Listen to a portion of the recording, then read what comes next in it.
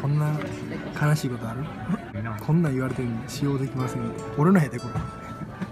これそんなやつですか？こんなん言われてんねパスコードを10回間違え11回かな？間違えてからだよ。どんだけ間違えてふっとど忘れしてしまってね。iTunes につなげたらバックアップあるから。ないねパソコンとかもねすごいなやっぱ。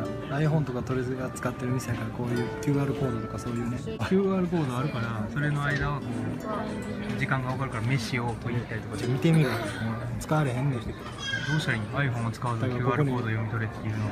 ここに追ってくれっつって一級的な話だ。ここに追ってくれって言われてんねんすごい頑張って育ってたな。パズドラももうゼロです。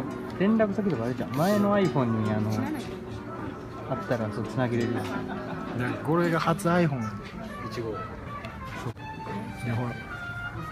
この日々言われてるやつは直さないですから今さっきこっち直せやって話して日だってしょこたんも最近言われたらしくて。